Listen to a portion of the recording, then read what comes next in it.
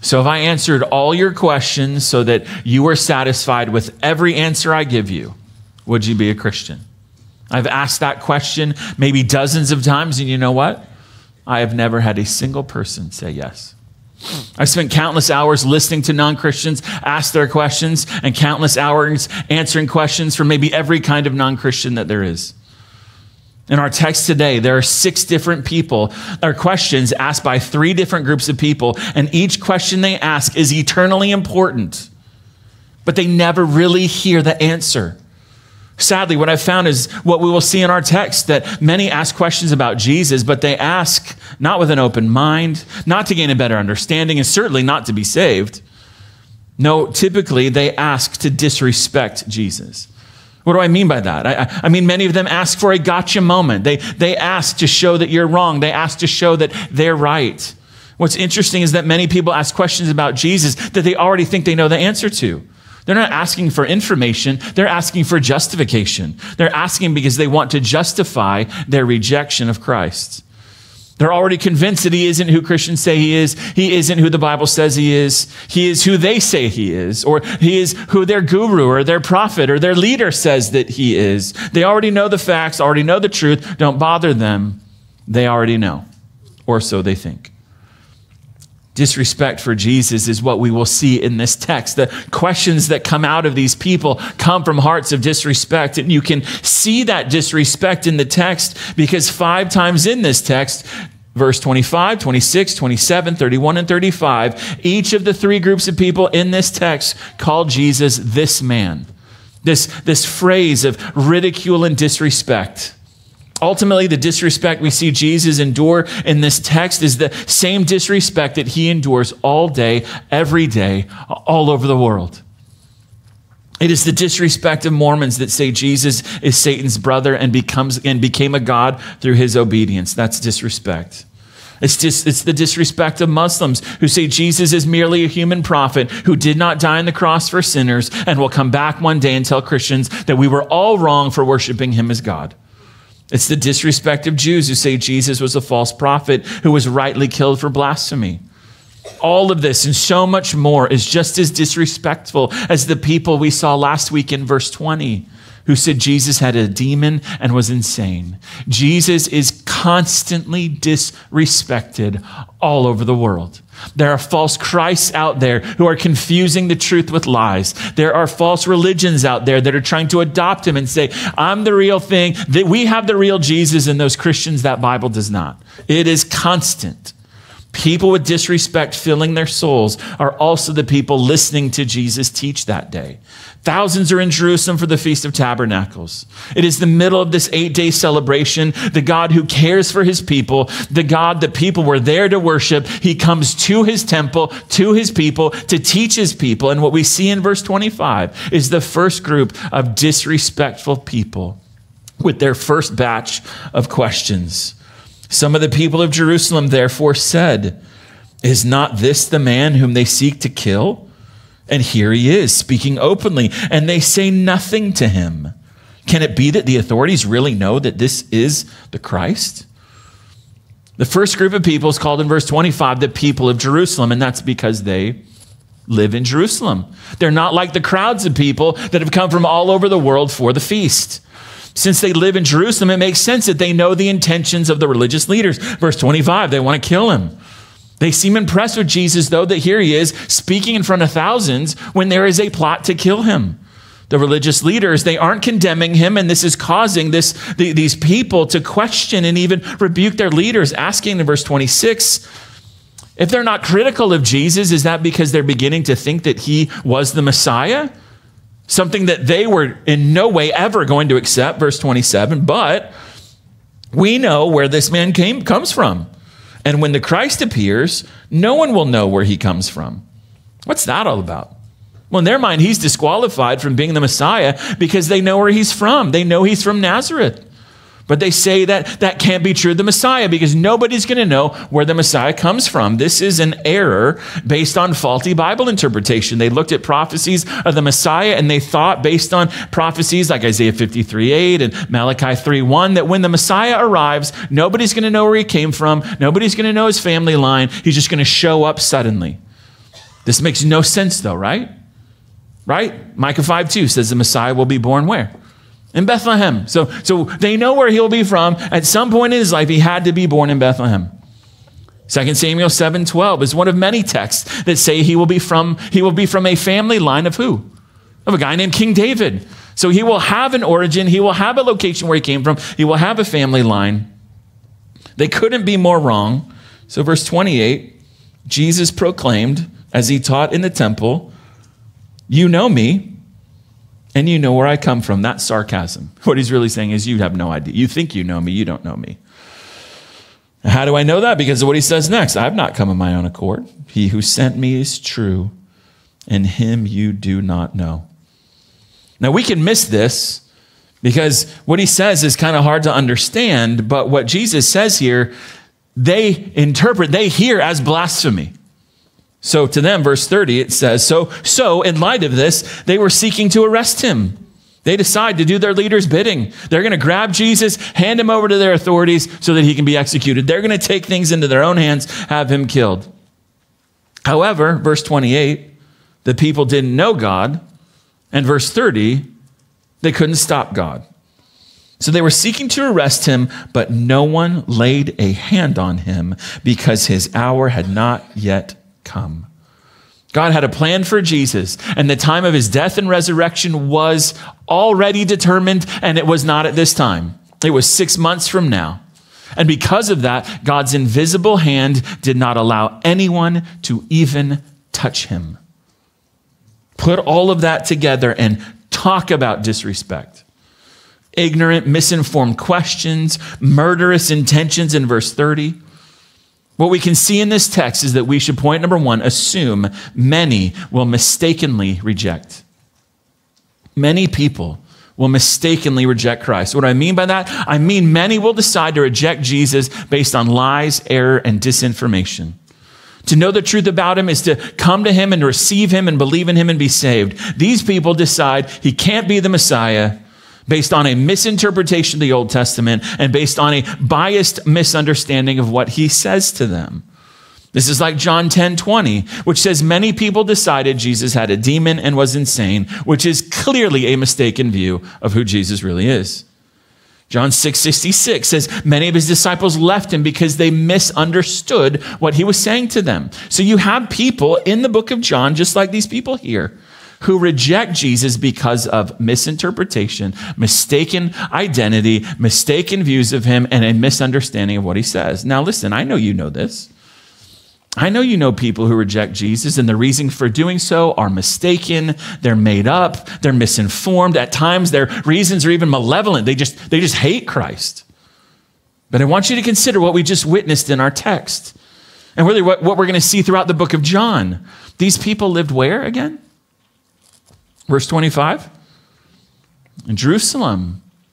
In Jerusalem, that's the center of Judaism.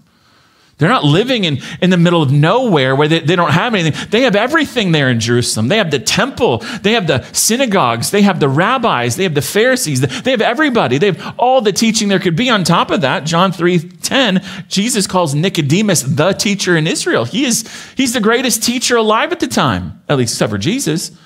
So these people have no excuse. They are well taught, they know the truth. And then add to that, that unlike every other nation on the planet at the time, they alone had God's revelation of Himself. They had a completed Old Testament. So they had the truth. In the words of Romans 9 4, to the Jews belonged the adoption, which means that God adopted them, brought them to Himself out of all the nations in the world. They have the glory, which means that God's glory rested with them and nobody else in the Exodus, in the tabernacle, in the temple. They have the covenants. They have the giving of the law. They have the worship. They, they know how to worship God according to what He wants and how He wants. They have the promises. To them belong the patriarchs, Abraham, Isaac, and Jacob, who all of the promises came through. And from their race, according to the flesh, is the Christ. Translation When God became a human being, he became a Jew. These are incredible, eternal spiritual privileges, unmatched by anyone and everyone else on the planet. and they mistakenly decided to reject their own Messiah. Nobody should have known better than the Jews, and they got Jesus wrong. This is true for so many Americans, isn't it? Because of God's grace, they didn't they weren't born in the middle of some jungle where no missionaries ever been and they don't have a Bible in their own language. No, not here. We've had a Bible in our language for 500 years. Because of God's grace, they grew up in church. They went to Awana. They have true knowledge of God. And just like these Jews, they mistakenly decide to reject the truth that they should have known better because of a massive amount of grace that they have personally received by being born here into their family, into their city, into their everything around them screams, follow Christ. And they refuse. So realize that people who know better, who should know better, can embrace lies instead of the truth when it comes to Jesus. They will twist the scriptures and buy into lies and logical fallacies, all in order to justify their mistaken views. They will believe lies because they don't want to disappoint people that have influence over them. They don't want to risk their disapproval, just like the people of Jerusalem didn't want to face the wrath of their religious leaders. They hate him for reasons that make no logical sense. And if they just did a little bit of research, they would know the truth. It would be so obvious to them, but they will not. This is tragic. This mistaken rejection, these murderous intentions of the people of Jerusalem. We turn from them to the next question in the text, verse 31. This question is posed by the crowd of pilgrims who were all there at the time. Yet many of the people believed in him. They said, When the Christ appears, will he do more signs than this man has done? They believed in Jesus, but the question is is it real? Is it saving faith, or is it faith in the sense that they think he's the Messiah? That's the question. I, I, don't think the people in the crowd are actually born again. I don't think these people are actually saved. Yes, they believe in Jesus, but notice it's based on what? It's based on his miracles, which this book does talk about, but there's a difference between believing in Jesus, the miracle worker. He can do miracles, and he's done a lot of them, and believing the truth that the miracle proclaims. Namely, that if he can do what only God can do, he can only be what? God. These people do not embrace him as Lord and God. They do not trust him as the God man sent to be the Savior of the world. And I say that because verse 31, they call Jesus again, the, the, the phrase of the people of Jerusalem, the phrase of the religious leaders, they use the same disrespectful phrase of him, this man. And I don't think these people are really saved because in chapter 8, verse 30, Jesus talks to these people who believe in him. In chapter 8, verse 30, it says they believe in him. And 15 verses later, chapter 8, verse 44, Jesus says, You're of your father, the devil. How's that possible? People believe in Jesus, but they're of their father, the devil. Because, like Satan, they know the truth and they know the truth is true. But unlike someone who's saved, they reject the truth just like Satan. They reject the truth that they know. This disrespect for Jesus in verse 31 is much more subtle than the last group, and it's definitely more subtle than the next group. But from this, we can, point number two, anticipate many will falsely believe. Anticipate that many will falsely believe. Many people mistakenly believe they're saved only to prove that they're not. Many. In this text, Jesus, these people are talking about Jesus who don't know at the moment that this is not an intellectual thing. So they think that they would think they're the real thing, but Jesus will show in chapter 8, verse 44, that they're not the real thing. Which reminds me of the most tragic text in the Bible, at least in my mind, which is Matthew 7 21. Not everyone who says to me, Lord, Lord, will enter the kingdom of heaven, but the one who does the will of my Father who is in heaven will enter. On that day, many will say to me, Lord, Lord, Did we not prophesy in your name and cast out demons in your name and do many mighty works in your name? And then I will declare to them, I never knew you. Depart from me, you workers of lawlessness. What is he saying? All those good works you thought you were doing for me were actually done for you. And that selfishness proves we, we never really knew each other. We never really had a relationship to begin with. You see, there's a saving faith and there is a said faith, which is a faith that is only lip deep, but not really true. This is the case for most of Jesus' followers when he was here, and sadly, this is the case for most people who call themselves followers of Jesus today. They don't really believe in him. Why? Because their good works don't come from faith as a result of salvation. Their works are to earn their salvation. And I know I come back to that all the time, but this is the fundamental issue of reality. If you are trusting in your good works to save you, then you are not trusting in Jesus. If you're trusting in your good works, who you're trusting in is really you and not him. This is the core of the decision that people must make. Oh, the tragedy of this text that many, many people will believe I can do good works to earn my salvation and have Jesus, and together we will produce my salvation. Many people will believe this even after they die, that this is what guarantees them heaven, only to find themselves in hell forever. And there are also those who, before that day comes, they say they're a follower of Jesus, but eventually they will prove that commitment to be false. Oh, they know the truth and think the truth is true, but eventually some lie will present itself, or some influencer will come along, or they'll see something in the Bible they don't agree with, or something happen, will happen with a group of Christians that they don't like very much, and they will just walk away. Or they believe in Jesus, but a trial hits their life, or they get some pushback from a friend or a professor or a coworker for being a Christian, and they will walk away. Or they believe in Jesus, but they start to want something else. They, something they think is better than Jesus, like money or freedom or to fit in with non Christians. That takes over their hearts and they walk away. All of that simply describes Jesus' parable of the soils and the seed.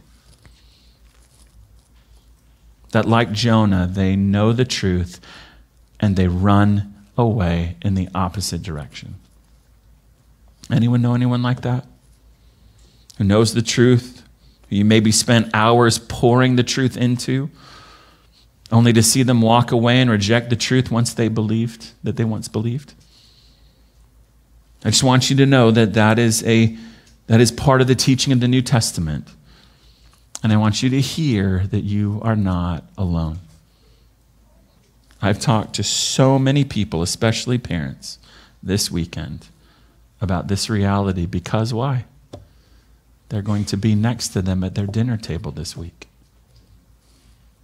Many people here are experiencing this right now. And so I don't choose. All I got to choose was the book of John. After that, we just preached the next text. And that just happens to be our text today. So, with this anticipation in mind that many will falsely believe, it is so critically important that you and I are grounded deeply in the truth. That we know the truth, that we love the truth, that we can open a Bible and we can share the truth. It's critically important you don't let unbiblical thinking on this cause you to overlook the clear evidence of their life. Because here's what the temptation is okay, so I know they're living like the devil right now. But when they were four years old, they prayed a prayer to ask Jesus into their heart. So I'm holding on that they're still saved even though they're living like Satan. 1 John 2:19 is clear on this. That when people leave Christ it says, quote, They went out from us, but they were not of us. They were not really one of us. They were not really Christians. Because if they were of us, they would have remained with us. But their going, their leaving shows that they were never really one of us. They were never really saved. And by all means, please don't ever say something like, well, God's going to bring them back, like he's just going to have to do it. I mean, of course that's true, but that's often used as an excuse for apathy and disengagement. Don't use good theology to justify bad ideas. Yes, God will be the one who brings them back if he does. But he often brings people back how? Through the people that love them the most. Through you. Being unafraid, knowing the truth, loving their souls so read your Bible, memorize it, stick with that Bible study. Don't give up. Don't stop asking. Don't stop seeking. Don't stop knocking. Don't stop praying. Don't stop learning what they believe and why they believe it so you can counter it with the truth. I had a guy in the last service. He's like, "At what point do you do you get to where you don't do that anymore?" And I said, "When you die. That's when." when you die. So we've seen group number one, the mistaken, and group number two, the false. Starting in verse 32, we return to the religious leaders who so deeply hate Jesus. The Pharisees heard the crowd muttering these things about him, and the chief priests and Pharisees sent officers to arrest him. Pharisees, they are the strictest of the strict of the different groups of Jews at the time. They are the most strictly obedient to God's laws and the teachings of the rabbis about God's laws. They were also in control of the synagogues, which means that they had the influence of the majority of the population being among the people. That's why they know that the people are talking about, even though the people are muttering, which means that they're whispering. They're trying to hide. They're trying to hide what they're saying from the Pharisees. But they, they know this. They're around the people. The people are starting to see Jesus favorably and seem to even believe that he's the, the Messiah, and the Pharisees won't stand for this. But they don't have the power either. This other group in the text, though, the chief priests, they did have the power. They were the aristocracy, the religious families with status and with authority. These two groups often disagreed, often vehemently disagreed, but they had a mutual hatred for Jesus, and the friend of my enemy is my friend. And so their differences melt away. And the text says both groups together get an arrest warrant and give it to the officers who are kind of a police force tasked with keeping order in the temple. Jesus knows this. So, verse 31 he says, verse 30, Jesus then said, so in, in light of, of what the Pharisees and, and chief priests did to, to arrest him, Jesus then said in response, I'll be with you a little longer, and then I'm going to him who sent me. You will seek me, and you will not find me. Where I am, you cannot come. The Jews, these religious enemies of Jesus, they have no idea what he's talking about here. What he said sounds like a kind of riddle, but, but they, don't, they don't believe him anyway. So they, they think he's insane. He's purposely being vague and elusive. So they didn't understand, but they didn't ask any questions like, Could you tell us what you mean by that? No, instead they mock him. Verse 35 the Jews said to one another, There they are mocking Jesus. Where does this man intend to go that we will not find him? Does he intend to go to the dispersion among the Greeks and teach the Greeks?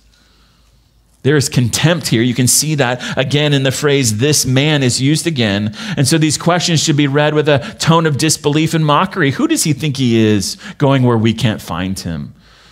Maybe he'll go to those loser Jews out there who don't live in Israel like we do. They live among the heathens. Maybe he'll teach the heathens. God would be awful. Those people exist just to, so hell has something to burn. That's what they believed. Maybe the heathen and those, those nominal Jews, maybe they will listen to him because you know what? We're never going to listen to him. Oh, the irony, right? As I say that to a room full of heathen, non Jews who did listen to him. Praise him for that. Uh, verse 36 is interesting. It's almost as if they, they're, they're, even though they're mocking him, they want to know what he meant by what he said. And so, and you can see that because they repeat his words verbatim. What does he mean by saying, You will seek me and you will not find me, and where I am, you cannot come? It's almost like there, there, there's some, some say that there's like a, there's a tone of like maybe, maybe there's a pebble in their shoe now, maybe there's a splinter in their mind, and maybe that's causing them to think for just a second. And others are like, No, this is more mockery. What does he even mean? What an idiot. The disrespect for Jesus is thick in this text, isn't it? There's sarcasm and mockery and contempt filling these verses, which should cause us to point number three ache. Ache as many will recklessly perish. Many will recklessly perish. They will pave their own personal road to hell with mockery and disrespect. Reckless because in order to mock and disrespect something, you must what? You must know it first. They know the truth and they disrespect it. Again, think about these religious leaders. They only heard the truth, they knew the Bible perfectly. They, they, they, they knew the truth. They, Jesus only spoke the truth. They only, he, they only heard the truth coming from Jesus. Their response is mockery and murder. He does what they think is work on the Sabbath, so he has to be killed. He calls God his own father. He's got to be killed. He's taking away their popular influence with the people, so he's got to be killed. They hear him say he's going back to the Father who sent him in the first place, and they mock him for it. They hear him say that they will seek him, but they won't be able to find him, so they mock him some more. They hear truth after truth after truth, and they don't consider it precious and take it in and ponder it and even embrace it and believe. They, they could not imagine the truth, which is that the God of the universe was speaking to them in that moment. They are reckless, careless, irresponsible with Jesus and the truth coming from his precious lips. Again, know anybody like that? They know the truth but treat it like it's worthless? They love lies while mocking the truth. They see themselves as the final judge of what is going to be true and submit to themselves rather than the one who is truth.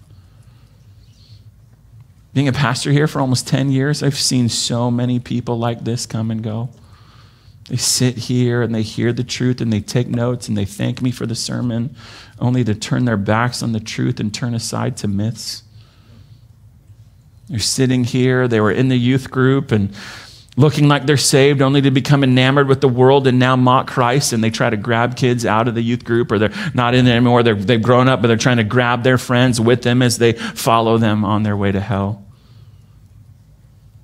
They were here loving Jesus and loving the truth, but when some temptation came along, some pretty young thing, some substance, some lifestyle, some preferred future that they actually wanted more, that grabbed their heart and they took off.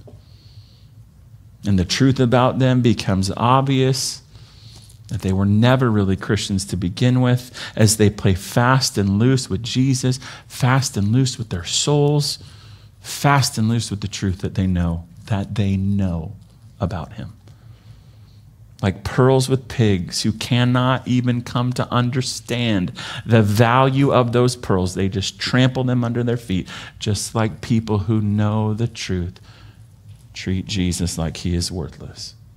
All for what? To have a little slice of freedom, to have a little piece of the world, and forfeit their souls. I want you to consider this.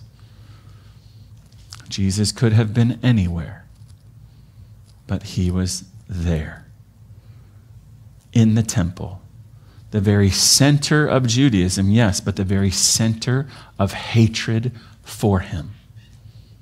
He is there speaking the truth to hundreds, maybe thousands that wanted him dead. And he gave them the truth anyway. This is the gracious and kind heart of the Savior for those who mock him, disrespect him, and in our text, even want to kill him. He came to rescue sinners, and that is certainly what these people are. So in verse 28, says Jesus proclaimed, that means that he yelled with deep emotion, showing the eternal importance of his words. Verse 28 You know me, and you know where I came from? Really? Is that what you think? You don't. And, and, but I want you to notice he doesn't clear it up for them. He doesn't say, well, I just want you to know, like, they're wrong about the Old Testament. Actually, the Old Testament says the Messiah be born in Bethlehem, which I was, from the line of David, which I was, from the line of Judah, which I was. Like, he didn't do any of that. He leaves them in their unbelief. While he ridicules, oh, you think you know me, huh? You don't. They don't because the truth about him is, verse 28, I've not come of my own accord. Translation, like you think I do. But he who sent me is true, and him you don't know. I didn't appoint myself to this ministry. I didn't come here on my own initiative. The one who sent me, I was sent here by notice. The Father, the one who sent me, the Father is true. Meaning, the one true God, He's really the one who sent me. The one that you're here to worship, He's the one who sent me. He's the one who gave me the mission that I'm on, which is why I'm talking to you right now. This God, the one they thought they knew, in contrast to all those pagans out there, it says at the end of the verse, Him you do not know. We saw from previous texts, if they knew God, they would never reject him. Rejecting Jesus proves that they do not really know God. However, being sent by God means something more. It means Jesus was with God before he came here. That fact goes all the way back to the first verse of the book of John, which speaks of Jesus' eternal face to face relationship with the Father as an equal. It is also a reinforcement of the idea that Jesus is God's unique, final, and highest messenger to this entire world, sent on a mission. That's the idea. He sent me, sent on a mission to speak the truth and die for sinners.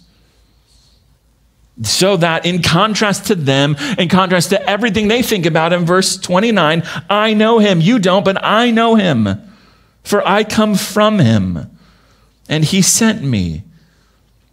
He's always known the Father because he's been in the Father's presence for all of eternity as God. He came directly from his immediate presence to accomplish the purpose that the Father gave him to accomplish when he sent him here. He's on a mission.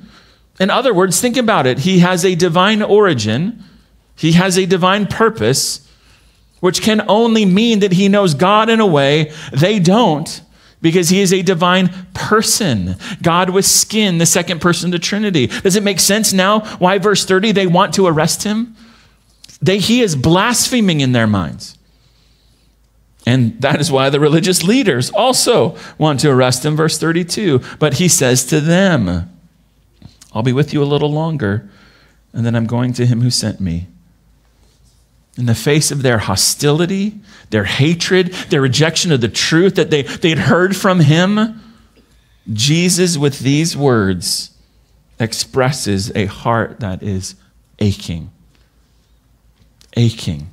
I mean, many think, I mean, if you don't want to follow Jesus, to hell with you. But here, Jesus is grieving over their souls. This is not the loud pronouncement of verse 28. This is firm and calm, yes, but it is also sad. He knows their plot to arrest him is not going to, it's going to fail. But even still, I think there is anguish over loving people that hated him. Just like he's going to, six months from now, stop outside of Jerusalem because he is overcome with tears as he weeps over Jerusalem, saying, How long I wanted to gather you to myself, but you didn't want it. This is a one of those moments that he looks back on as he enters Jerusalem. He remembers this how much I wanted to bring you to myself, but you didn't want it. They didn't even understand what he's saying here, but we do, right? I'm not going to be here much longer. Yeah, we know in six months he's going to be dead. They're going to be rid of him. His mercy will be rejected. He'll be back in heaven with the Father. Officers have been told, go arrest him. But verse 34, he arrests them with this You will seek me, and you will find not find me. Where I am, you cannot come. Time will come when you will seek my help and you will not be able to find me. When this happened for the people there that he was speaking to, we can only speculate. Maybe they wanted their Messiah when Rome surrounded the city of Jerusalem 40 years from these moments, destroyed the city, destroyed the temple, and tens of thousands of Jews were massacred. Maybe he's speaking to moments after his resurrection when they want him as they hear reports that the tomb is empty. And maybe they killed the Messiah. That's what Peter said to them. You killed the Messiah. And some of the Pharisees did believe. But some of the people here, we don't, we don't know when this happened. But that it happened is assured, right? Because Jesus said it would happen. These are words of judgment upon all who know the truth and recklessly live like that truth doesn't matter at all. There will be a moment, maybe in this life, certainly in the next, when the truth will fall on them with force and conviction and finality, and they will seek God for his mercy and grace and forgiveness, and it will be too late. Notice the end of verse 34. Jesus is so certain of this future reality that he doesn't say where I will be, but what? Where I am. Like he's already there, back in heaven with the Father. He existed in the Father's presence, right? So he, he's doing what he sees the Father doing. He's saying what he hears the Father say. That's everything he does and says. So he's, he, he exists in that presence, and this future moment, it's, it's so certain he's already there. And by the way, that's the place to be, right? The place he's going to be is the place that everyone is going to want to be. But verse 34, it is a place they quote what? Cannot come. They don't have the ability to go to heaven.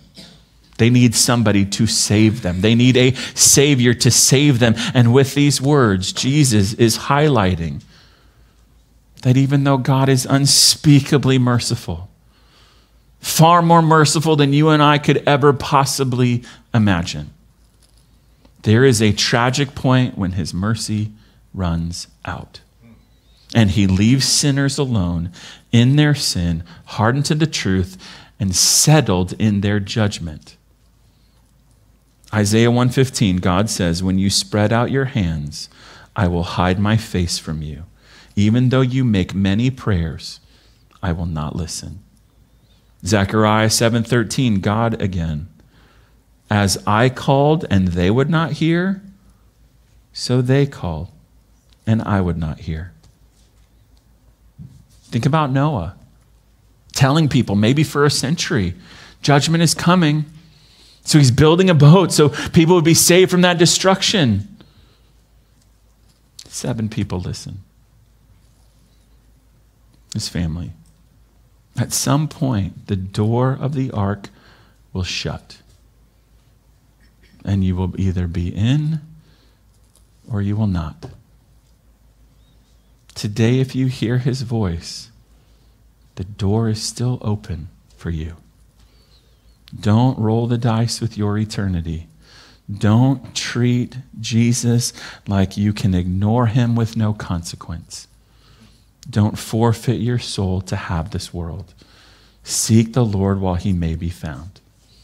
Call on him while he is near, because there may come a moment because you've consistently and continually ignored the warnings and rejected Christ there may come a moment when you will seek him and you will not be able to find him. I know, pretty heavy for Thanksgiving, right? Thanks, preacher. I know. But listen. Oh, the thanksgiving that should fill your soul. That what I've described today will never, ever be you. Let's pray.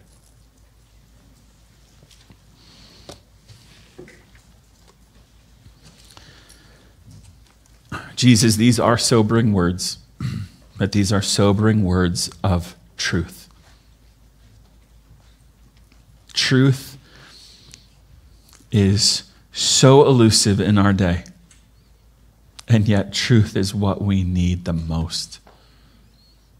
And so, would you please use your truth in every one of our lives?